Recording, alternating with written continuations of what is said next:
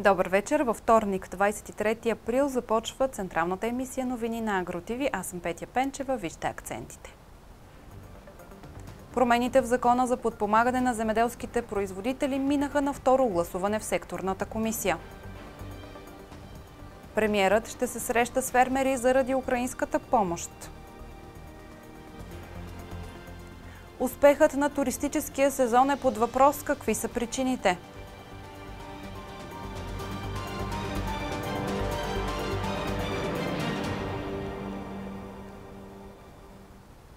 Промените в закона за подпомагане на земеделските производители минаха на второ гласуване в парламентарната комисия по земеделието, храните и горите.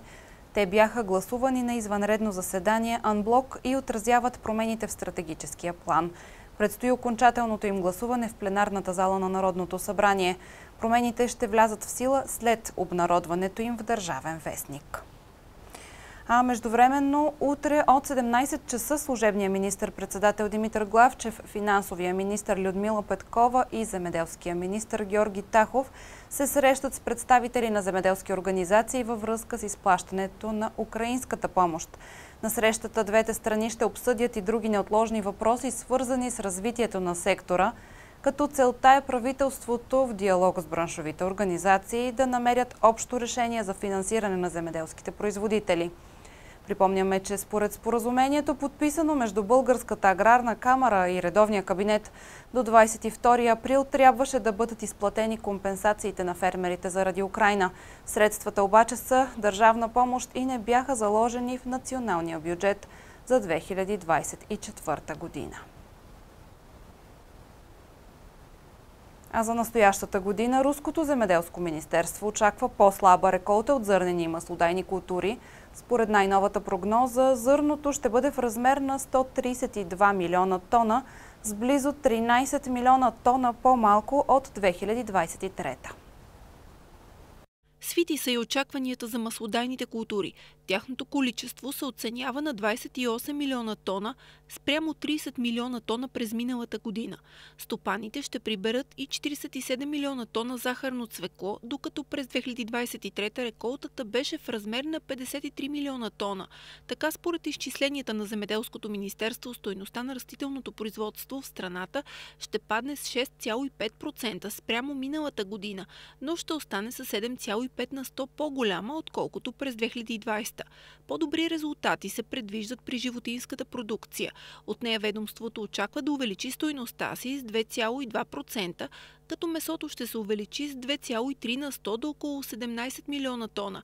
От тях свинското ще достигне 6,3 милиона тона, което е с 4% повече, а производството на пилешко ще се разшири с 2 на 100 до 7,2 милиона тона. Говеждото ще остане почти без промяна на ниво от близо 2,9 милиона тона. С около 1% до малко на 34 милиона тона ще се увеличи производството на сурово мляко, а при яйцата ще има плюс 1,2 на 100 до 47 милиарда. Като цяло стоиността на аграрното производство за 2024 година се очаква да се свие с 2,9% в сравнение с миналата, но да бъде с 7 на 100 по-голямо от 2020 година. У нас затруднения преди началото на летния туристически сезон. За това предупреждават хотелиери и работодатели по Южното Черноморие на събитие в столицата.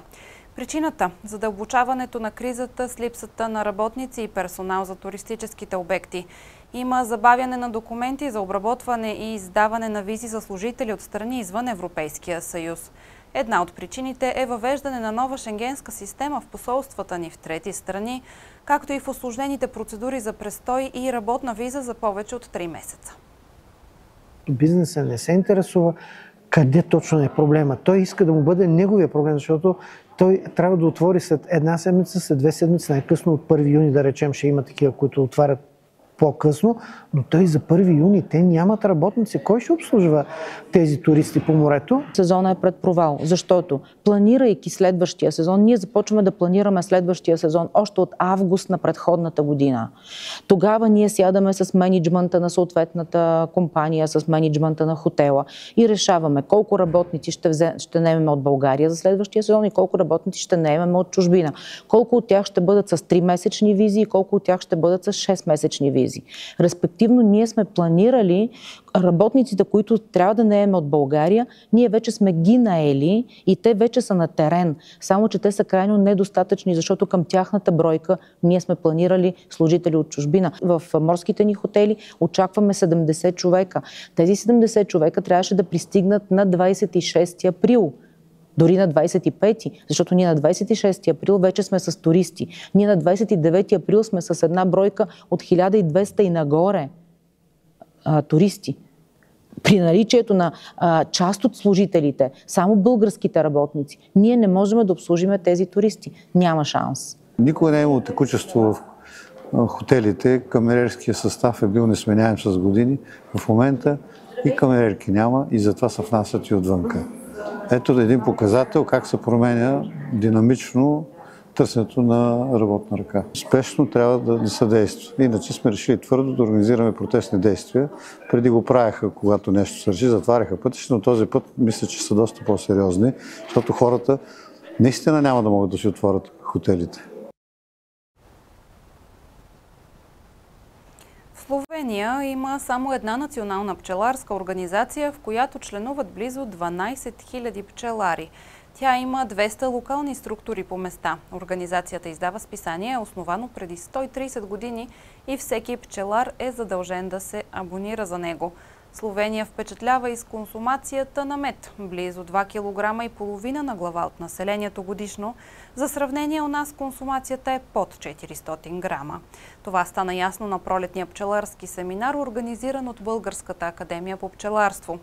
Словенския пример в сектора е повече от впечатляващ. За него разказва нейно превъзходителство Наташа Бергел, пълномощен посланник на Словения в България в поредното издание на предаването Пчелините на България.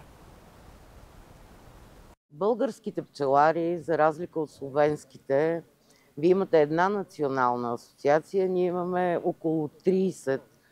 Какво бихте ги посъветвали, за да се сдружават по-успешно с цел да отстояват една по-добра национална политика и разбира се, да имат по-успешен пазар? Да, знам, че в България наистина имате много асоциации и това нещо, според мен, трябва да се промени, за да ще бъде по-добре за всички. В Словения така е, аз смятам, че имаме една или две, но те са наистина много, имат силен успях и подкрепа и те наистина могат да разговарят съвсем равнопоставено с, с, с представители на страна. И само за това те, те също имат голям успех. Също имат голям успех, когато трябва да. Когато се говорят за пари, когато се говорят за програма, когато се говорят за пазара. Ако има 27-30 представители на различни асоциации, това ще, ще стане трудно.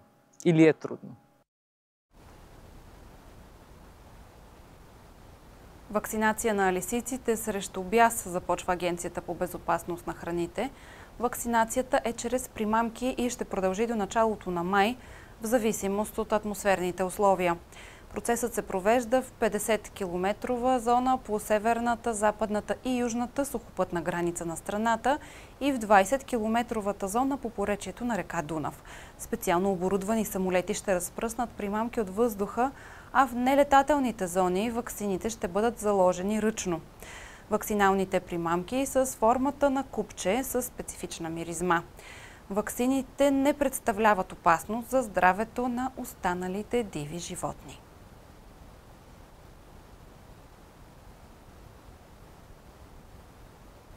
Нови критерии и принципи за употребата на така наречените най-вредни химикали при Европейската комисия. С тях на промишлеността и инвеститорите се дава предсказуемост по отношение на производството на продукти, които са абсолютно необходими за екологичния и цифровия преход, здравеопазването и отбраната в Европейския съюз. Новите правила са конкретен резултат от стратегията за устойчивост в областта на химикалите, чиято цел е да се подобри защитата на човешкото здраве и природата от най-вредните химикали и да се премине към нетоксична околна среда. Понятието основни употреби помага да се прецени кога от обществена гледна точка е оправдано да се използват най-вредните вещества. В случаите, когато употребата е необходима за здравето или безопасността или отрешаващо значение за функционирането на обществото и ако има приемливи альтернативи, това вещество може да продължи да се използва за тази цел за определен период от време. Подробни разпоредби следва да бъдат определени в специално законодателство, като се прилага концепцията за съществена употреба. Общата цел на тази концепция е да се постигне по-голяма регулаторна ефективност и предвидимост за органите, инвеститорите и промишлеността за по-бързо премахване на най-вредните вещества при несъществени употреби, като същевременно се даде повече време за постепенното преустановяване на употреби, които са съществени съществено значение за обществото. За употреби, считани за съществени за обществото, концепцията може да даде на компаниите сигурност, че веществата, използвани в критични приложения, по-специално за екологични и цифровия преход, но също така и за сигурността и отбраната, могат да продължат да се използват, докато не бъдат налични альтернативи. Нещо любопитно. На 30 май тази година светът ще отбележи първия Международен ден на картофите, обявен от Организацията по прехрана и земеделие на ОНЕ. В тази връзка ФАО насочва вниманието към огромното значение на тази култура, която храни милиарди хора по света. Наскоро организацията публикува наръчник за Международния ден с тема Разнообразие при прибиране на реколтата, подхранване на надежда. Той ще подчертае значението на културата в борбата с глада и бедността и справенето с екологичните заплахи за хранително-вкусовите системи. Международният ден също така ще подчертае ролята на дребните семейни фермери, значителна част от които са жени в опазването на разнообразието на културите, както и ще отбележи културното и кулинарно значение на картофите, произхождащи от андите, Картофите са били известни като цветето на древната цивилизация на инките, за които са били основна култура. Картофът е въведен в Европа през 16 век, откъдето в последствие се разпространява в останалия свят. Само за 5 века картофите се превърнаха в ключова хранителна култура за фермери и потребители по целия свят. Празникът също така ще послужи за демонстриране на различни начини за приготвяне и консумация на картофи. Друга причина, поради която поддържането на разнообразието на картофите е от решаващо значение, е, че прекомерното използване на няколко определени сорта увеличава уязвимостта към вредители и болести и въздействието на изменението на климата. Съхраняването на дивите сортове, въпреки че може да не са вкусни за хората, също е от решаващо значение, тъй като техните наследствени черти могат да се използват за повишаване на устойчивостта и хранителните качества на култивираните сортове чрез отглеждане на растения. На финала на емисията ви напомняме, че през почивните дни можете да посетите със семейството си фестивала Семе Българско в Севлиево. Агротиви е медиен партньор на събитието. Освен празнична програма, всяка година организаторите събират средства чрез своята инициатива с ръце и сърце и благодарение на децата от Севлиево, които творят месеци преди това, за да може посетителите да изберат и да дарят средства за техните творения, предоставя събраните средства на двойки с репродуктивни проблеми. Агротиви е нашия сайт за още любопитни теми от сектора, а прогнозата за времето ще научите от 10 Димова. Спокойна вечер!